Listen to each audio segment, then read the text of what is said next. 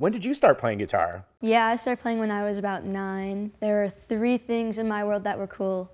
That was football, skateboarding, and guitar. Okay. I somehow found the Welcome to the Jungle music video by Guns N' Roses. Yeah. And you know, Slash in that, like with his Les Paul and everything. He looked cool. He just he looked did cool. look cool, yeah. I wanted to look cool like Slash, so I asked my mom for a guitar. We got this cheap little black acoustic guitar. It's actually still sitting in my room. Were you able to actually learn something on it? No, I was terrible. Abs- Yeah. Absolutely awful. This was a very cheap acoustic guitar because my mom did not think I would be sticking with Right, it, which that- goes for a lot of things. And I totally get that. A Squier came next for me.